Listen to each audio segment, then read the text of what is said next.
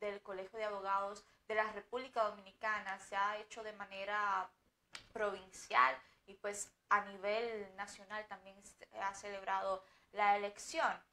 Y bueno, la noticia es que hay un tranque, que hay dos de los que han participado que se han autodeclarado como ganadores. Tenemos en el caso de Joan López Diloné, que es una persona que el partido de gobierno, el PRM, vamos a decir, lo, lo asume como candidato. Y también está Vidal Potentini, que la fuerza del pueblo en este caso lo asume, vamos a decir, como su candidato a la hora de hablar de la preferencia dentro de las diversas boletas. En el caso de Joan, José Paliza había escrito un tweet en el cual felicitaba a Joan por la por haber ganado, incluso muchos medios hicieron la réplica de este de esta felicitación. Entonces, luego cuando vino la cuando vino la comisión del Colegio de Abogados de la República Dominicana,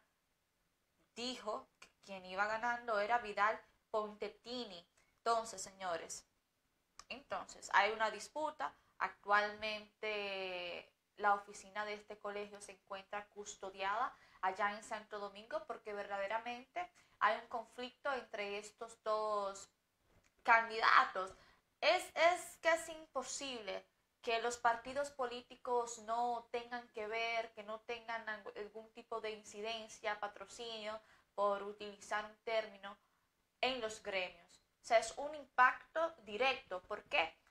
Porque los gremios agrupan miles, miles de profesionales que se manejan por una línea en busca de su beneficio.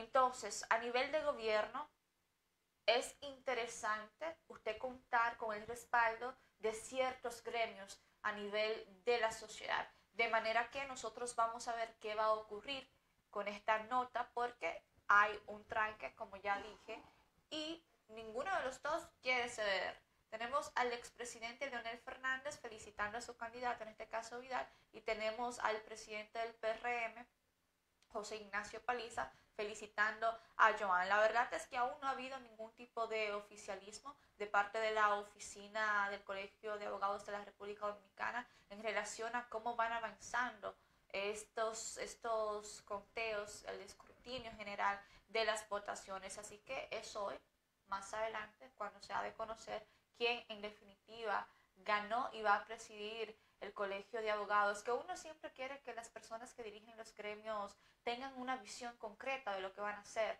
no simplemente para tener una línea de poder, no simplemente para tener a un grupo de personas y hacer negocios a nivel político, a nivel de interés personal, como ha ocurrido con otros gremios y como sigue ocurriendo, parte del contexto histórico.